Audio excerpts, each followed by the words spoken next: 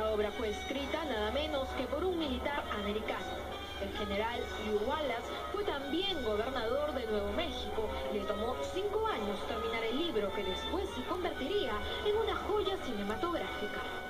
En 1880 publicó sus escritos y fue un éxito entre la crítica, pero también entre los lectores. Se vendió un millón de copias del libro. En años tan conservadores, la polémica se generó cuando se llevó al teatro.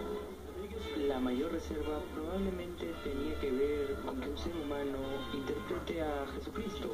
El general se oponía fuertemente a eso desde el principio. Después de que varios productores lograron convencer al autor, la obra se puso en escena. Este es un gráfico de de un sistema de poleas y maderas, se pudo realizar la carrera de cuadrigas en un teatro. Tuvo un espectacular éxito, fue un éxito en la crítica. Finalmente, el escenario era visto como un razonable y seguro lugar para que puedan ir las familias y personas con convicciones religiosas. Y hablaban del hecho que en ese momento el teatro se convertía en casi iglesia.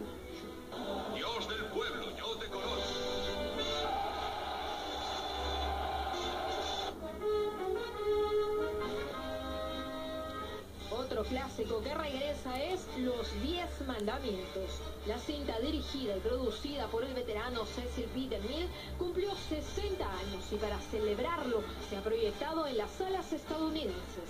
Los 10 mandamientos en su 60 aniversario se pondrá en la pantalla gigante en cines seleccionados. Pero también se viene comercializando una versión remasterizada que se puede ver en HD digital. Estos productos se ponen en venta, pues nunca fallan. El público no se cansa de apreciar increíbles historias como la de Moisés. No en vano, en su estreno original, logró un récord histórico de taquilla que solo fue superado por Titanic y que se encuentra por encima de lo obtenido con el clásico Tiburón. La grabación que se realizó en Egipto contó con un montaje complejo en el que se necesitó 20.000 extras con familias y animales incluidos para recrear pequeñas ciudades de antaño. Usaron como guía las estructuras originales. Por supuesto, se necesitaron muchas grúas, las mejores grandes electricistas para armar algo así. Tenían que traer a los extras en masa, tenían que traerlos en la noche en grandes camiones para que estén listos a la mañana siguiente. No se escatimó en gastos y se utilizó uno de los sets de filmación más grandes en la historia del cine.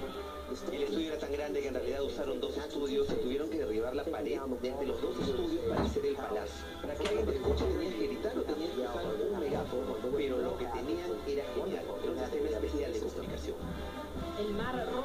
abriéndole paso a Moisés es una escena inolvidable. Esta fue realizada en un tanque de los estudios de Paramount Pictures. Se grabaron las paredes laterales del tanque y esas son las paredes de agua que se ven y que se elevan en el Mar Rojo. Es simplemente otra perspectiva. Y ellos las voltearon al otro lado del tanque e hicieron lo mismo. Lo volteas y pum. Tienes otra pared de agua. Es impresionante que hayan logrado poner todas esas cosas juntas. En Latinoamérica también se han hecho esfuerzos por llevar estas majestuosas historias a la pantalla grande. En Brasil, tras una exitosa serie para televisión, se proyectó la versión en portugués del clásico religioso.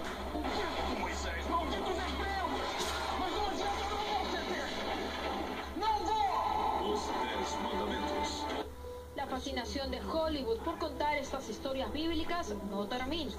Hoy, en la cartelera se encuentra La Resurrección de Cristo, una película producida por Sony Pictures que narra la pasión y muerte de Jesús, pero desde los ojos de un no creyente. El nazareno dijo que resucitaría los tres días. Perderás la paz y el orden si eso se cumple. ¿Y el pueblo lo creerá? Los débiles sí.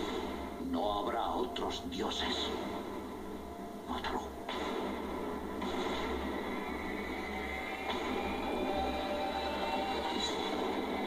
La tumba está sellada. Vigílala con tu vida.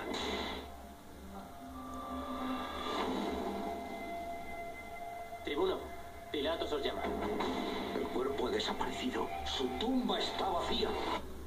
Gavius es un poderoso militar romano asignado por Poncio Pilatos para resolver el misterio sobre lo ocurrido a Jesús en las semanas posteriores a su crucifixión, con el objetivo de desacreditar los rumores que apuntan a su resurrección. En su investigación comienza a convencerse del milagro. ¿Qué ha pasado con el cuerpo? Las cuerdas explotaron sin más. Ya debería haber muerto. Dos cosas irreconciliables. Un hombre muerto sin la menor duda. Y ese mismo hombre vivo otra vez.